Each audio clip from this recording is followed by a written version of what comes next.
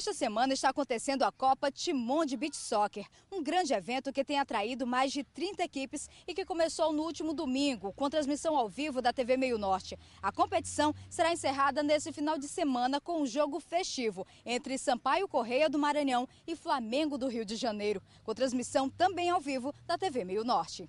Arquibancadas lotadas. O evento é recorde de público todos os dias. A animação da torcida contagia os atletas que disputam a competição mais acirrada que já existiu em Timon. O presidente da Federação Maranhense de Beach Soccer comemora o sucesso do evento.